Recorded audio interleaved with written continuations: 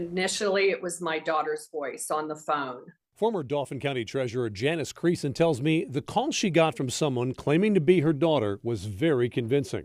She said, I was in an accident. I I think I broke my nose. The story of some kind of accident involving facial injuries is often used by scammers just to give them cover in case the person getting the call thinks their relative's voice sounds a little different. In the background, I heard people talking.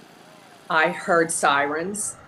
Uh, I heard what sounded like an accident scene. Janis said she ended up speaking to someone posing as a police officer and a lawyer, all voices that she believes were generated by AI. Was there anything that sounded robotic or machine like or unhuman about this phone call?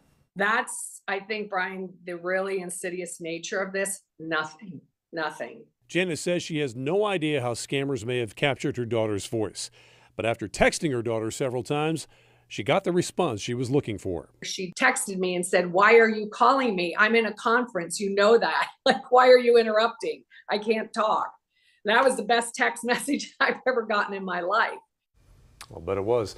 These scams involving artificial intelligence are multiplying by the day. By the day. And so you and your family should be prepared. Consider using some kind of code word or a passcode to use within your family in emergency situations. If the caller can't provide that information, chances are you could be getting scammed here. And guys, I want to circle back to this thing I mentioned about facial injuries. Yeah. So to be clear about that, in these cases, the scammers will quite often claim that the person making the call, in this case the daughter, was injured. She had a broken nose, mm-hmm. so that her voice is altered. So if you get a oh. call from your kids, you're going to say, "Oh, well, that's probably why their voice sounds a, little, little different different, yeah. because they broke their nose or they had some kind of mouth injury." Thought ahead that's why that. they do this. Mm. Yeah, they have. So a lot of us seeing the story wonder, and I know Janis couldn't figure out either. How did the scammer get her daughter's voice?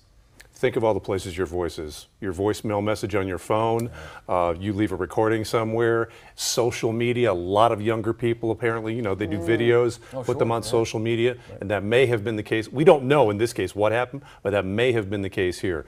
Your voice is in a lot of places, and that's possibly where they can get it. And when they do these AI recreations, they only need about 25 words from your voice to do this. Wow. It is scary, It scary is. stuff. We cannot warn people about this enough. Wow. I like that. I like the using a passcode. Use I'm the gonna have to passcode, Talk yep. to my kids tonight Right. about that. All right. Hey, thanks, Brian, Brian. thank you.